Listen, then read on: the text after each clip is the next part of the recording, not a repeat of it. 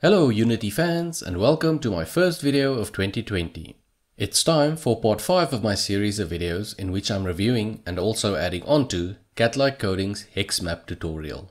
If you haven't seen the previous videos, I'll place links in the description or follow the link in the top right to start at the introduction. Today I'll be showing you examples of how some post-processing can improve the overall look of our completed map. This is not covered in the original tutorials, but I thought I'd play around with it and it did have quite an interesting impact on the visuals.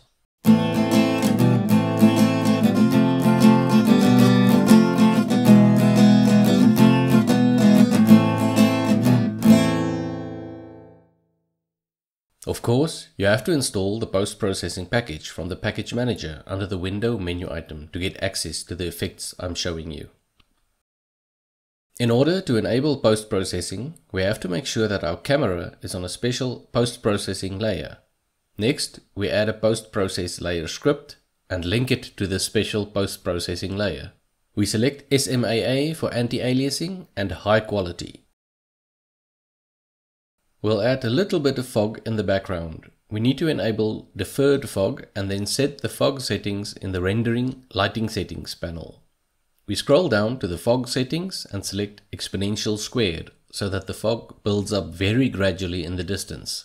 You can of course play around with these settings and see what you like, but I don't want too much fog in this scenario, so I set the density to 0.002. We also add a post-process volume script to which we'll add all our post-processing effects. The first effect is ambient occlusion the brightness of light on different parts of our terrain is now adjusted based on the geography of the map and the rest of the environment. Hidden corners between object edges get darker. You can set the intensity of the occlusion and also change the tint it should take on. Next up, Bloom can give your bright areas more of a glow. Again, you can set the intensity and select a tint for the glow. We don't want too much of a bloom-in scenario, so I'm keeping it low for now. With the vignette effect, you can let the borders of the view fade away. You can play around with the intensity, smoothness and roundness to find something you like. Again, we want just a subtle darkening of the edges for now.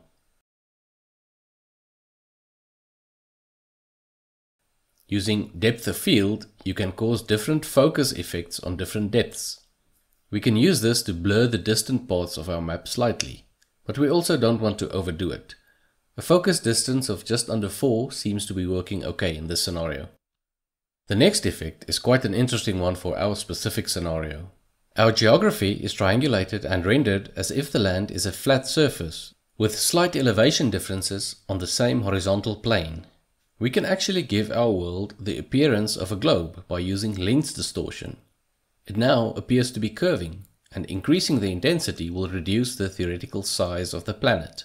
There are some problems in the corner where the distortion is extreme, but this could actually be hidden by a game UI, an overlaid frame, or even just the correct vignette settings for now.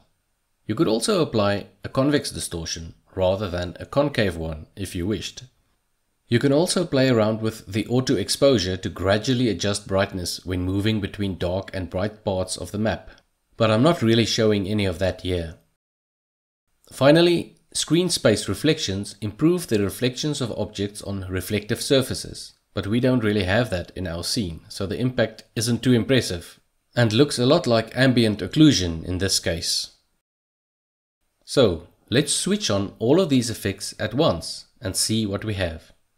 I think it makes even this low poly environment look a lot better. The most important effect seems to be the ambient occlusion, but the slight impacts of the glow of the bloom, the fog and depth of field adding a bit of blur, and the lens distortion making it look like a spherical world all add a bit of value. The scene has a lot more depth and subtle variations in colors, making it feel fuller and more three-dimensional. I hope you enjoyed these post-processing examples and can use some of it in your scenes as well. It really adds a lot of value visually if you can afford it resource-wise. Let me know what you think of the post-processing effects and if you'd like to see more of my additions to this HexMap series, please subscribe and turn on notifications.